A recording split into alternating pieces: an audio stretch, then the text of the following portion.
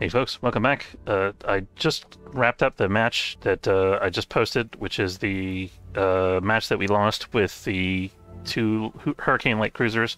I'm thinking about building a variant of that fleet that has one light cruiser that has a bunch of Hurricanes and then something else besides. So I'm going to do a little bit of fiddling in the fleet editor. I'm just throwing out this, throwing this out there as a little bonus content. Let's get building. Okay, uh, we also need to give these names, by the way. Let's do that first, and then we'll make the new fleet. So, what name do we want to give this? Um, I had an idea for this, actually. Let me, um, I saved it on my phone. Let me, give me one second to pull it up. Let's see.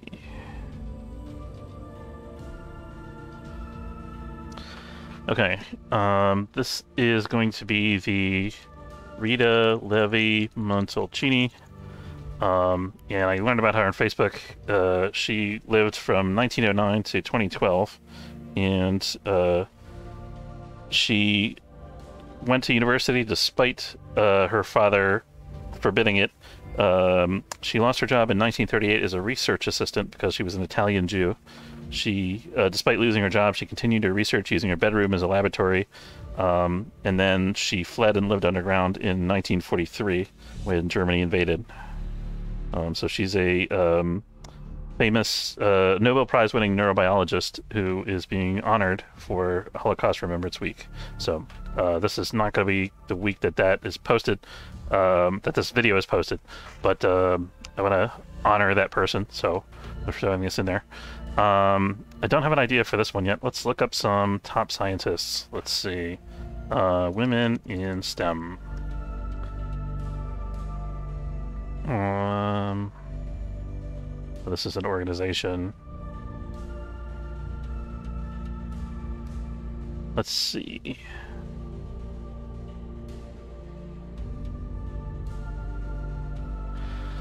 Um, Lillian Gilbreth. Now, Lillian Moller Gilbreth was an American psychologist and industrial engineer at the turn of the 20th century. She was an expert in efficiency and organizational psychology, principles of which she applied not only as a management consultant for major corporations, but also to her household of 12 children, as chronicled in the book Cheaper by the Dozen. Her long list of firsts includes first female commencement speaker at the University of California, first female engineering professor at Purdue, and first woman elected to the National Academy of Engineering. This is from um, the Obama White House archives. Um, let's go ahead and throw that up there. Okay, so these are our two, we've officially christened our two ships. And um, let's go ahead and make a variant fleet. Uh, I don't know what I'm going to put in it yet. For now, I'm just going to call it um, 3K Missile CL variant. 3K Missile CL variant. And then we'll rename it something better later. So I'm going to delete one of these two cruisers. So we have one Hurricane missile cruiser, and we have like 1,500 points to mess around with. And I believe this missile cruiser, I think they both had the adaptive radar and all that kind of stuff. This has adaptive parallax. I don't think they were completely identical. Let me actually check that real quick before we go and build the new one. I want to make sure we. I want to make sure I know what we're removing here. Uh, oh, we have the listing here. So five launchers, Mark 64, two jammers, a PDT, only one PDT, and the VLS. Mark 64, PDT, Aurora. So the second one is an Aurora. In addition to the other stuff, I think there's other stuff that's not listed that's significant. Let's take a look. So I'm looking down at the modules here.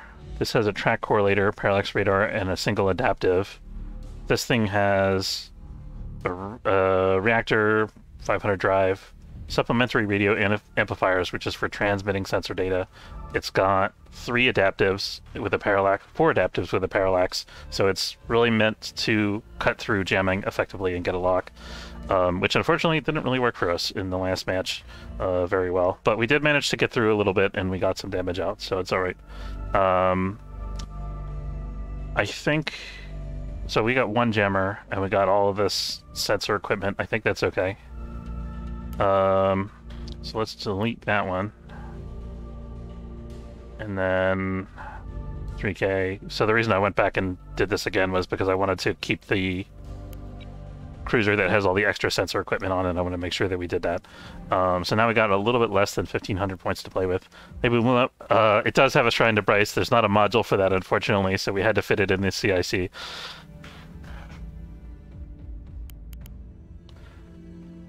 We also have a backup in the DC locker in case it gets destroyed.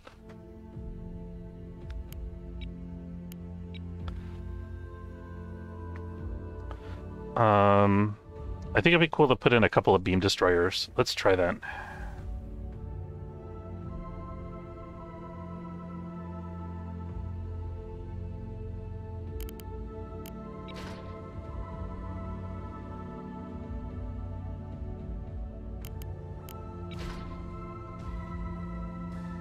Right next to the open com launch nuke button, yeah. That's how you make an offering, in fact.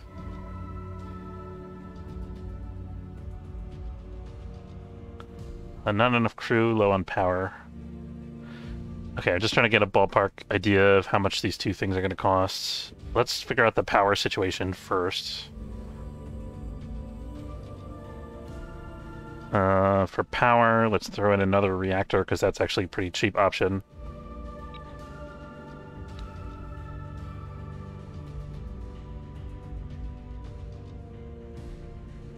Interesting note about the PD. I've noticed that the the PD coverage areas are very different for di for different classes of ships, and it kind of makes a lot of sense to me. I think to have like multiple ship classes in your fleet so that their PD coverage can overlap in useful ways.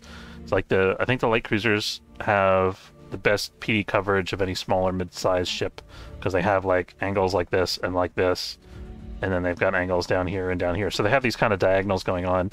The destroyers basically cover everything but only on you know 180 degrees on each side. So I think they're a good complement to the cruisers, which sort of have a bit of a blind spot. Uh, I think do they?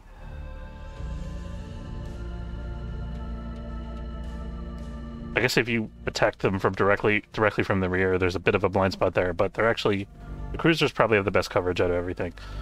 Um, destroyers only have it on the sides, so it'll be a complement to the cruisers, but they're not really good enough to have complete PD coverage on their own.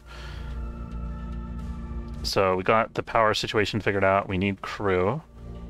I like to put the crew up front here to provide a little bit of extra armor because this the crew aren't going to be in here when they're fighting a battle. This is just where they sleep and stuff like that. So um, it's basically just an extra component that can be used to shield other components. Um, and it provides the ability for them to sleep somewhere. So they might lose their uh, like locket or whatever that they have stored away, but the ship will survive, so I'm okay with it. Let's see. Um, micro reactor. Here we go. Okay, so we have two viable beam destroyers. How much do these each cost? 325. That's like nothing, right? I mean, that's great. That's fantastic. We could just crank out like 10 beam destroyers at this rate. Let's just, uh, well, not 10, obviously, but So we wanted to put nothing else on. We could have four beam destroyers. I think let's have three beam destroyers and have them be a little more capable. I think that'll work out really well. Mm, what do we want to do with them, though? I think we need... They each need at least one... They need some damage control, right? They have nothing there, nothing for that right now. I'm going to put the CIC... Can I put it here?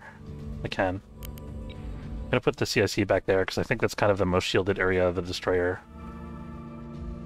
Um, that's also where the CIC graphic is, so it just kind of works out that way. I'm going to delete these other two for now because I'm going to recopy this once we finish tinkering with it. Um, could have... How much is the CIC? It's only 10 points, but times one compounding. We're going to put another one down there because I think it's cheaper than having a really tough CIC. And these things are going to be brawling and melee combat, so I think it makes a lot of sense. We could consider giving these missiles as well, but I would probably not want to give them more hurricanes because that just makes more of our firepower vulnerable to that one jammer type that gave us so much trouble. I think this is going to be um, a blanket jammer. What's our power look like? 86%. I think this is also going to be a reactor. There we go want to have plenty of extra power because these things are going to get damaged, and we want to make sure that they can function while they're damaged and they don't just lose all their systems spontaneously. I think let's put a DC locker here. And maybe somewhere we need a magazine, I think, because we're going to put in a little bit of PD for these guys. What are we up to now? 440? I guess the magazine could be like here. You want a reinforced magazine? Let's do reinforced magazines. I don't think we're going to have a ton of ammo on this thing. And I do want it to be uh, resistant to damage since we're only... Actually, this is super expensive, though. That costs half as much, so let's go with the cheaper one. We don't want these things to be a lot of points. Um... Okay, and I think the magazine is going to be secondary stuff, like... We could think about putting torpedoes on these things, but they're also command-guided, so I kind of don't want to do that. This up here is going to be their chaff launcher, which every ship has to have, basically, unless it's like a super stealthy scout. Let's say 16 chaff. We might add, we might fill this out as if we have a couple extra points left at the end. And then I want to put PD on the sides. I'm thinking we have too much power demand already for Auroras to be a good idea. What does this guy's PD situation look like? He's got an Aurora on the left side and a rebound on the right.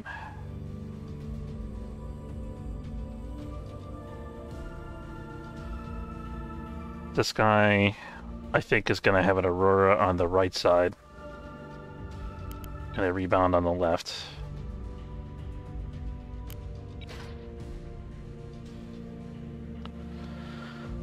Okay, and then I think this could be like a PCC if we have the crew for it, which we do.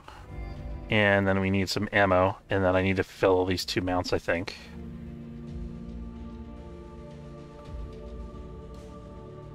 We could give them more Mark 64 cannons, that wouldn't be terrible.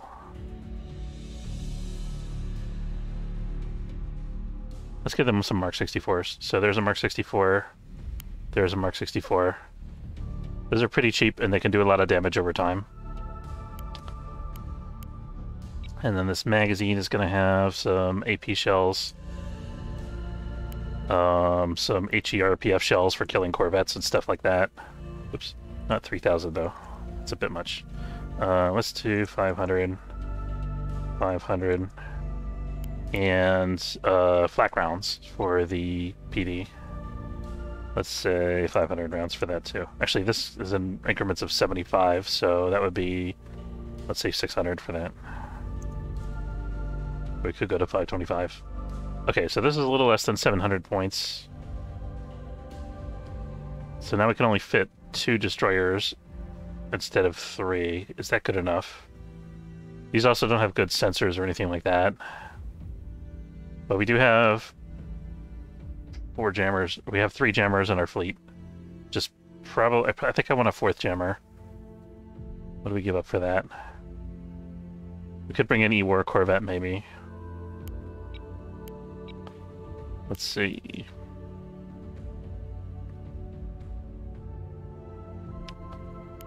Jammer. That's too many points. Should we... Let's ditch the Aurora here. Maybe we just ditch all the Auroras because we don't have a use for... Yeah, let's just do away with the Auroras because it gives us more power budget to work with. Um, I think the rebounds are going to be okay.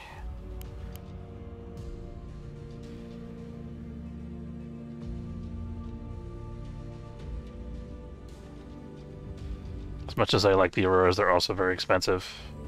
Um, okay, and then we're going to delete these and recreate them again.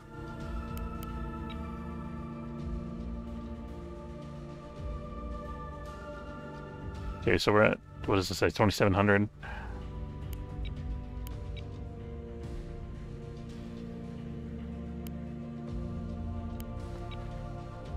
I forget, having this can be good for capping as well.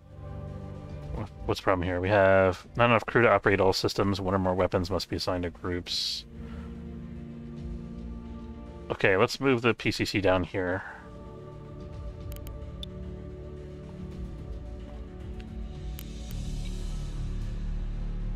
Maybe we don't need the PCC actually. Let's just put it in another berthing for now. There we go.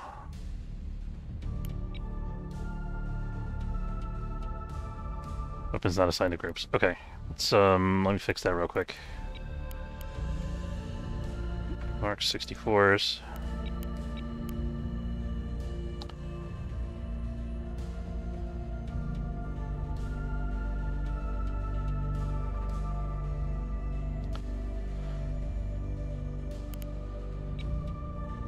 Saving this. Okay, and then this guy wants to have a jammer. 2978. So we have a couple more points to play with here. We could give this guy a VLS 23 maybe.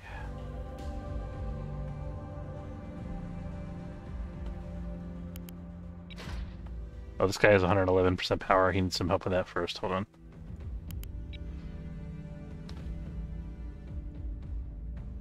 So this is to be um, PCC. Actually, we could give him a whiplash drive, maybe.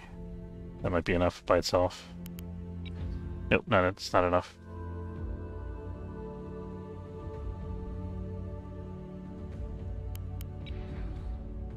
Too much.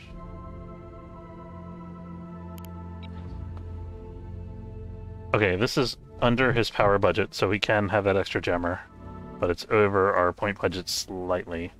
We can eliminate individual units of chaff here.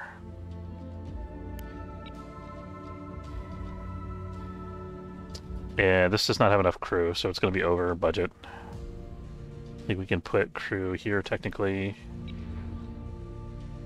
Oh no, that doesn't cost us anything. I guess the first one's free. Is that right? Yeah, okay. Okay, so this is our new fleet. We've got uh, beams for when our missile cruiser gets rushed. And this has got three, four or five missile launchers so we can launch waves of 10 hurricanes at a time and provide beam support indefinitely when the hurricanes run out. I like that idea. I think I'm going to give these guys... Do I want to give these guys a little more ammo? That's what I'm thinking about. I'm going to give up two chaff on the one cruiser in order to give these guys a little bit more ammo. So let's go for another 100 rounds. Oop. Another 50 rounds here. And another 50 rounds here. Okay, we're going to hope that's enough. And I think we want all these guys to be in a single formation, probably. Um, at some point, we'll probably want to split the Corvette off and do it, have it do its own thing. I want to start them off together. Um, what am I doing here? There we go. Okay, that is going to be guided by the cruiser. Let's have them be in kind of a triangle initially.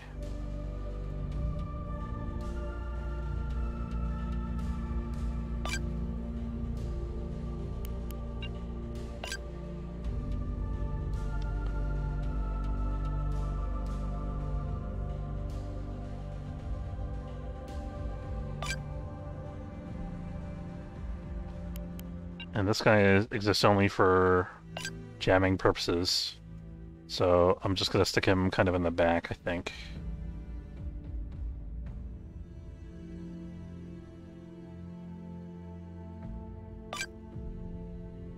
That kind of looks like TF Ash, doesn't it?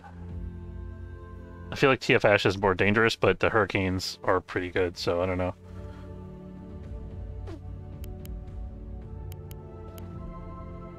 Okay, I hope that's a good fleet. Let's find out. Let's uh, give the fleet a proper name too, so I remember what it is. Um, so this is going to be 3K missile CL, two beam DD 64s, um, GM Corvette. Okay. So that's it for the fleet building. Uh, I'm going to end the video there, and then we're going to do another video in which we use this fleet in a match. So I will see you then.